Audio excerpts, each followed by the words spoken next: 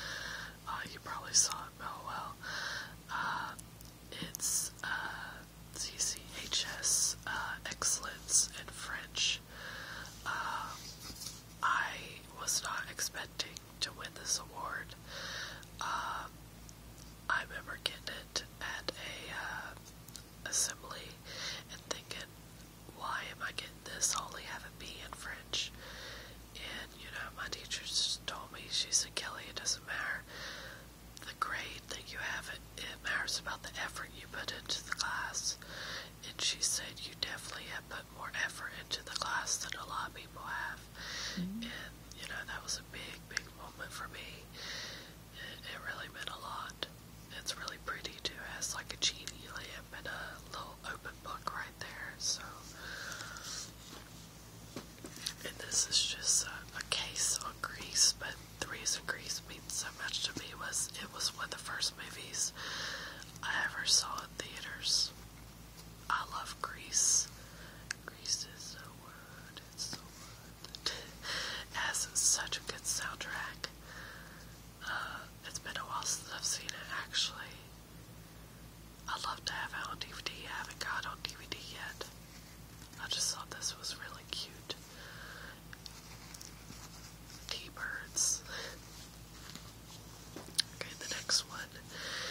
is uh, when I won for Best Short Story in the County uh, in my 12th grade year.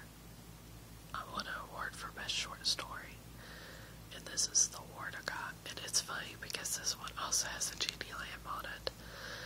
But yeah, that was also a big moment for me because I wasn't expecting to win. And uh, it was just one of those shining, grand, emotional events that you're going to remember for the rest of your life, you